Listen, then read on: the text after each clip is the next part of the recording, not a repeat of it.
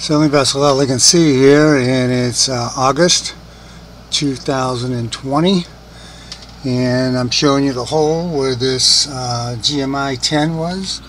And inside is uh, a Blue Sky Duo um, solar controller. And what this is all about is we're putting a excuse me we're putting a remote control for it in.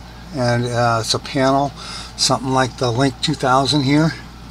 And um, we'll be able to control it from here instead of going you can see the seat that has to go closed.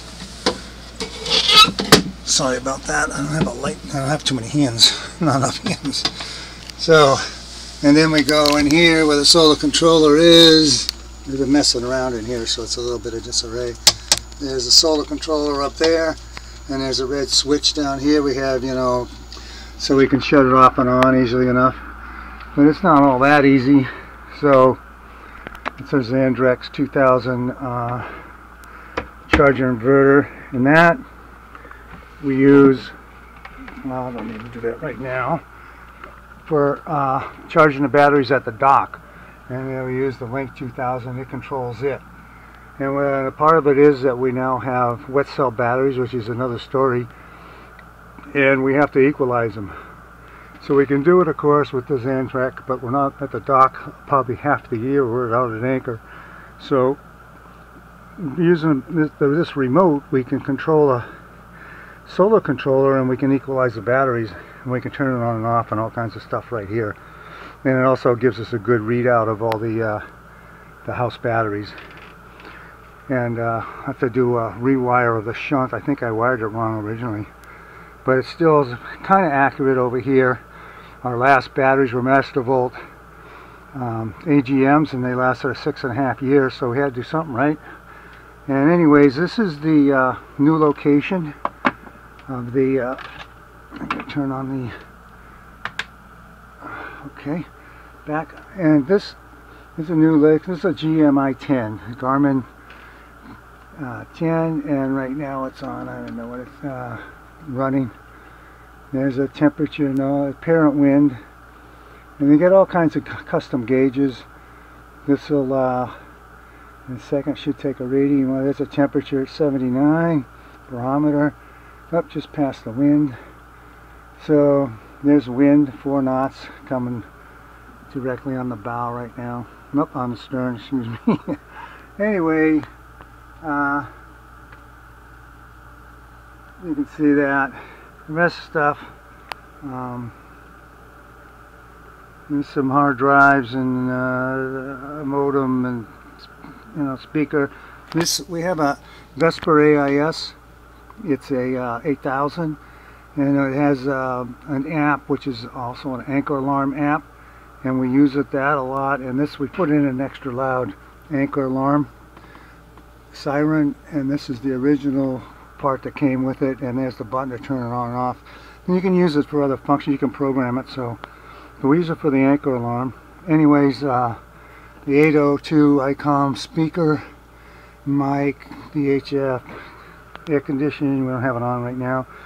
And that's a uh, wind generator amp thing, which I should have used a 15, but I got a 30, and probably never get up to 30 amps at a time. It would be easy to read with a 15, but here's a Pactor modem. On and on, don't want to get too off topic, but uh, if you want, so anyway, we needed the whole song. We put it out on the internet, I mean, the on the VHF net. Uh, and lo and behold, over here on the gunnel, we came back from an errand and was sitting a hole saw. So it was like, oh my god who left that? Great. And then we went to use it and it has a half inch shank on it. So it was like we have a 30 quarter inch drill. Gosh darn. All right so we went up we were we were we went back on uh, VHF and talked to a guy over on uh, uh, Nuevo Vallarta which is across a little bay here. And he had a half inch drill. He was originally going to let us use the hole saw but we we found one on McDonald. So then we were, so we, we walked up by uh, Starbucks up here, and then we said, oh, there was Neil. Neil was uh, charged, no, he's uh, updating his phone using the Wi-Fi up there, and he goes, we talked to him. He says, "Oh yeah, I dropped off the hole saw, and I have a half-inch drill." And Neil's about six boats down from this one on uh, ISIS, which is uh, I think an 82 Freeport like ours. Ours is a Freeport. Ours is a 78. And uh, anyway, he let us this nice DeWalt half-inch drill, and you know I've used them before. You gotta love them. They're great drill and cordless deal.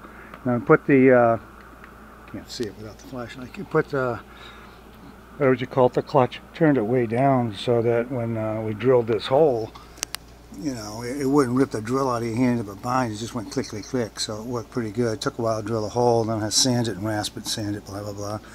Anyways, it all come out pretty good.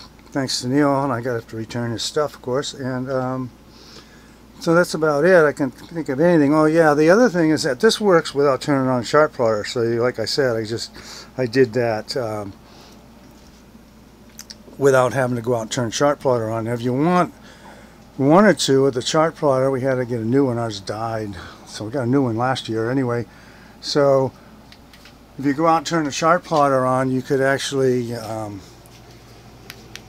take this. Oop, light show. Take this table and put it up and sit in here, we've done it, and use the Garmin network with the app. We have a Samsung tablet, and with the app you can sit here or wherever you want, anywhere in the boat or on the boat, and control all the chart plotter. You control, you get radar and auto, autopilot, change course, do whatever you want right on the app.